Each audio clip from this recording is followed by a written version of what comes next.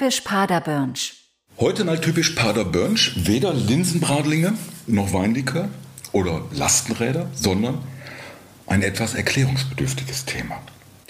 Zu Besuch bin ich bei Alena Diedrich, die in der Solavi engagiert ist. Alena, Solavi klingt nach einer Abkürzung.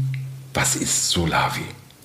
Genau, also Solavi, das äh, ist die Abkürzung für solidarische Landwirtschaft und ähm, wird oft auch genannt gemeinschaftsgetragene Landwirtschaft. Und die Idee ist eigentlich dahinter, dass eine Gruppe von Menschen, von Verbrauchern, einen Landwirt finanziert, dass er sozusagen Lebensmittel produzieren kann und äh, diese Gruppe von Verbrauchern sich dann am Ende die Ernte teilt. Also man finanziert den Betrieb und hat dann sozusagen Anspruch darauf, dass man den Ertrag bekommt. Das ist so das, das Kürzeste eigentlich oder so die Grundform der Solavi.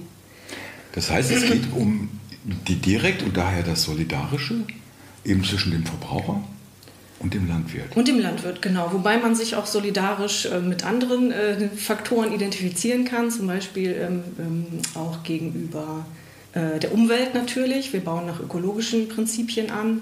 Ähm, aber ein Faktor, der bei uns eine Rolle spielt, ist tatsächlich das Finanzierungsmodell, das bei uns ähm, solidarisch ähm, funktioniert. Man kann sozusagen mehr oder weniger als den Richtbetrag bezahlen und so sozusagen finanzielle Ungleichgewichte aus, ausbalancieren. Also bei uns kann auch jemand mitmachen, der, der keine finanziellen Möglichkeiten hat oder nur wenig finanzielle Möglichkeiten. Dafür können andere Mitglieder sagen, ich gebe 5 Euro mehr im Monat und dann kann sich das wieder ausgleichen. Da sind wir eigentlich jetzt gerade, das erinnerte mich so bei dem ersten Gedanken so etwas an das Prinzip der Genossenschaft.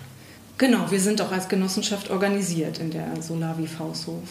Das heißt, ich muss, also es geht um landwirtschaftliche Produkte, die ich als Verbraucher direkt bei dem Landwirt beziehe. Das hast du jetzt gerade, du hast den Thema Faushof, genau. Biohof, Biolandwirtschaft.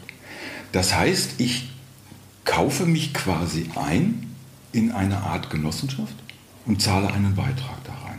Genau, ja. Also bei uns funktioniert das konkret so, äh, man wird ähm, erstmal Mitglied der Genossenschaft, das kostet einen ähm, einmaligen Beitrag, den man hinterher auch zurückbekommt. Bei uns sind das 150 Euro Mitgliedschaft. Und ähm, durch die Mitgliedschaft in der Genossenschaft erwerbe ich dann sozusagen den Anspruch, dass ich auch Gemüse bekommen kann. Dafür bezeichne ich dann den Ernteanteil, so nennt sich das. Das heißt, ich gebe sozusagen Rückmeldung, ich möchte auch von euch Gemüse bekommen. Und ähm, das wird dann nach monatlichen Beiträgen sozusagen ähm, finanziert. Und äh, das funktioniert wiederum so, dass es am Anfang des Jahres ähm, eine Bieterrunde gibt und eine Finanzierungsrunde, wo jeder seinen eigenen Betrag festlegt, bis das Jahresbudget gedeckt ist. Das muss man sich so vorstellen praktisch. Jeder äh, bekommt einen Zettel, schreibt seinen Betrag drauf, gibt sein Gebot ab, mhm. sein Angebot für den Ernteanteil. Und wenn der ähm, das Jahresbudget dadurch gedeckt ist, dann ähm, gehen wir ins nächste Anbaujahr und wenn es sozusagen nicht gedeckt ist, gehen wir in die nächste Finanzierungsrunde. Das heißt, dann muss noch mal jemand sein, jeder sein Gebot anpassen, muss noch mal einen Euro drauflegen oder zwei und das machen wir so lange, bis dann das Anbaujahr finanziert ist. Und äh, in der Regel funktioniert das auch nach der ersten Runde. Also wir haben selten, dass wir zwei Runden machen müssen. Mhm. Und dann ist das Anbaujahr finanziert. Wir können dann starten, Gemüse anbauen und jeder, der den Ernteanteil gezeichnet hat und sich verpflichtet hat für das Jahr durch seinen Beitrag, bekommt dann wöchentlich eine Gemüsekiste, die er sich abholen kann. Und das ist, ich meine, das ist ja auch noch, da gibt es also einmal die, die Familie mit den fünf Kindern. Hm, genau. Und auf der anderen Seite gibt es vielleicht das alte Ehepaar, das nicht mehr so viel braucht äh, das vielleicht eben nur eine kleine Gemüsekiste braucht, während die 12 bis 14, die, die ich kenne das, kenne das ja. von meinen, ich hatte zwei, Stief, äh, zwei Söhne, äh, die fressen einem ja die Haare vom Kopf. Das heißt, es, da kann sich auch jeder so einkaufen, wie es für ihn passt. Also zum Beispiel die siebenköpfige Familie kann sagen, ich gebe jetzt so und so viel rein. Und das alte Ehepaar sagt, ich gebe jetzt 60 Euro. Ja, also sozusagen in, diesen, in diesem Betrag, den man monatlich bezahlt, das ist der Richtwert von 90 Euro, den wir eben haben, ist der Anspruch auf eine, einen Anteil dieses, des Anbaus. Also wir haben 130 Mitglieder, das heißt, alles, was geerntet wird, wird durch 130 geteilt, 130 Kisten. Jeder nimmt sich eine oder packt sich die. Ähm, das heißt, erstmal so ist immer das Gleiche in den Kisten drin. Also wenn ich jetzt äh, fünf Kinder habe, würde ich vielleicht zwei Ernteanteile zeichnen oder so. Und wenn ich äh, Single bin, dann würde ich vielleicht jemanden suchen, mit dem ich mir das teilen kann. Oder ich sage, ich gebe einen Teil ab, dann tue ich es in die Mitnehmkiste, dann kann es jemand anders rausnehmen. Sowas ja. haben wir sozusagen auch. Aber grundsätzlich ist erstmal das, was ich rausbekomme, ein 130. dessen, was geerntet wurde. Es ist aber jetzt nicht so wie in einem, so in einer Genossenschaft ist das ja eher so, so da, da, da zahle ich einen festen Betrag ein und dann habe ich einen bestimmten Anspruch. Habe ich mich auf eurer Website umgesehen? Man muss aber auch was tun. Ah, man kann was tun, Oder ist ja eigentlich eher tun. so. Also ähm, man kann sich bei uns an ganz vielen Stellen einbringen, tatsächlich äh, im Gemüseanbau. Wer Lust hat, kann vorbeikommen und da mithelfen ähm, und sich auch jederzeit alles angucken, was in den Gewächshäusern so wächst und los ist. Ähm, also die Idee der Solavi ist ja, dass man selber sozusagen zum Landwirt wird und sich, äh, sich einbringen kann in den, in den Anbau und darüber informieren kann und auch mitbestimmen kann. Ähm, man kann zum Beispiel zu Arbeitseinsätzen kommen, das ist an jedem zweiten Samstag. Man kann in eine Arbeitsgruppe gehen und Tomaten äh, hochbinden, wenn man das möchte. Oder man kann in die Gießgruppe gehen und wenn die Gärtner mal ausfallen, weil einer krank ist, dann kann man morgens mal äh, gießen, sozusagen in den Gewächshäusern.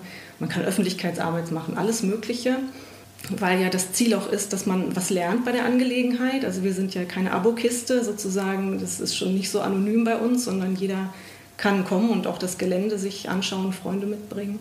Ähm, aber man muss auch nicht, wenn, man, wenn es nicht in die Lebenssituation passt, weil man Angehörige pflegen muss oder was auch immer. Manchmal geht es halt auch einfach nicht.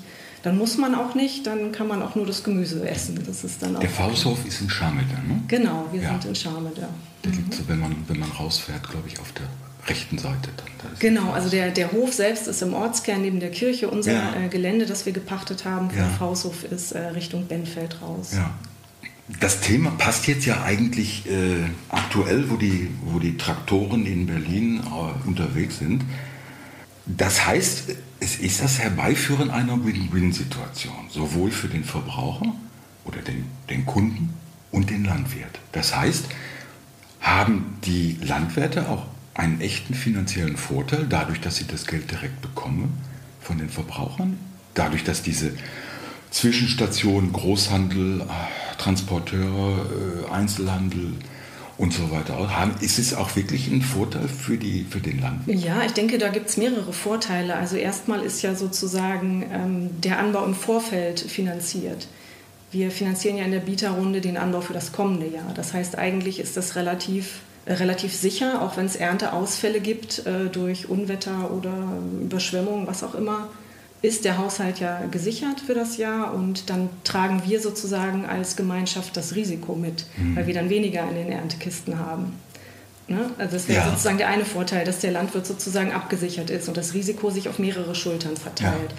Ähm, und das ist natürlich dem, auch dem Markt entzogen dadurch, das Gemüse. Ja. Also es ist so ein Produkt, das man jetzt auch nicht direkt kaufen kann. Ja. Man kann jetzt für das Kilo Kartoffeln den Preis bei uns nicht genau benennen, weil man sozusagen ja nie weiß, ich tue so und so viel Geld rein, wie viel Kilo bekomme ich am Ende raus.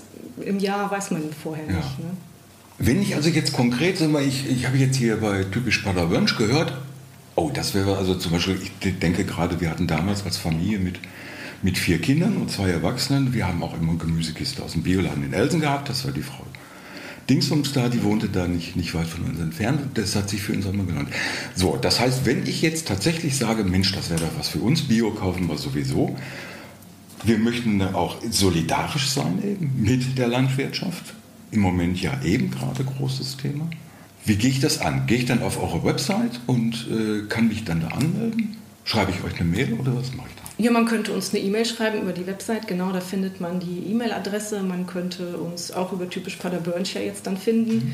Ähm, man findet uns auf Instagram überall und kann eigentlich auf jedem Kanal Kontakt zu uns aufnehmen. Und das würde dann so laufen, ähm, dass man sich erstmal meldet, man bekommt noch ein Infopaket, man kann vielleicht einen Termin machen mit uns und sich gerne das Gelände mal anschauen und mal gucken, wie das so läuft, wenn da das Gemüse ausgegeben wird. Bei uns ist immer Freitag und Samstag Gemüseausgabe. Dann kommen alle und packen ihre Erntekisten sich ein. Genau, dann könnte man erstmal gucken kommen. Wir bieten auch Infoabende manchmal an. Die findet man über den Eventkalender vom Fausthof zum Beispiel auf der Homepage.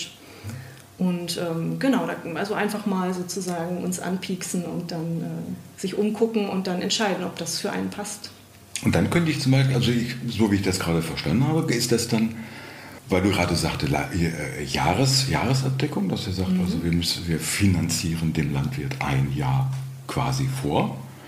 Das heißt, dann kann ich dann zu einem bestimmten Zeitpunkt dann starten und kann sagen, ab jetzt bin ich dabei.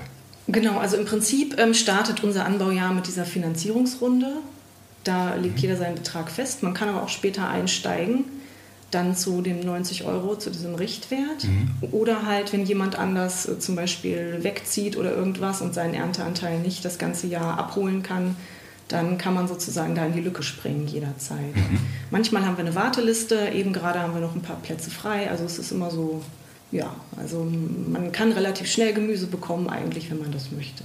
Aber es ist nicht nur Gemüse, es ist glaube ich auch Obst, ne?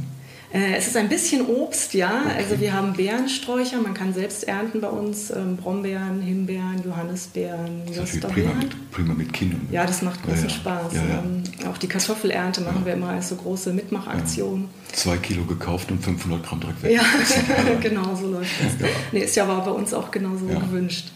Und äh, wir haben auch einen Obstgarten gepflanzt tatsächlich mit alten Apfelsorten und Birnensorten. Der muss noch ein bisschen wachsen, aber da gibt es dann auch die ersten Früchte hoffentlich bald. So, das heißt ganz einfach, entweder die Website von typisch Paderborn suchen oder eben Solavi. Genau, wir sind www.solavi-faushof.de oder auf Instagram Solavi Faushof findet man uns auch oder Anja vom Faushof auf Instagram, dann kommt man auch zu uns relativ schnell. Dann drücke ich euch den Daumen, den linken und den rechten. Und ich denke gerade, ich denke, was da gerade wichtig ist, äh, wieder ein anderes Verständnis von Landwirtschaft zu bekommen. Und ich denke, das ist an der Solavi gerade wichtig, dass die Leute auch wieder den Zugang, also wir haben zwar die, die, die Hofläden und alles mögliche, dafür sind wir aber hier in, in, in Ostwestfalen nicht so gut bestückt. Da kenne ich zum Beispiel in, in Niedersachsen gibt es in jedem Dorf einen großen mhm. Hofladen. Ich denke, das ist bei der Solavi wichtig, da eben diese solidarische Handlungs- und Wirtschaftsweise wieder zu entdecken. Und das ist wahrscheinlich das, was ihr gerade fördern wollt. Genau, das wollen wir versuchen, möglichst ja. viele wieder auf den Acker und äh, auf, auf, die, auf, den Boden zu kriegen. Sozusagen. Wieder auf den Boden der Tatsache ja, zu kommen. Ein bisschen, genau. Alena, danke für das Gespräch. Ich denke, es ist eine sehr interessante Sache, gerade, ich denke gerade für Familien, gerade für Leute, weil Fausthof ist Bio. Und dann können die Kinder die Himbeeren und die Äpfel von den Bäumen fressen. Genau, und auch mit Buddeln in und der Erde. Buddeln. Kohlrabi auspflanzen ja. und solche Sachen. Genau, ja, wir freuen uns immer, wenn, wenn ähm, unbekannte Gesichter sich blicken lassen und ja. mal vorbeikommen.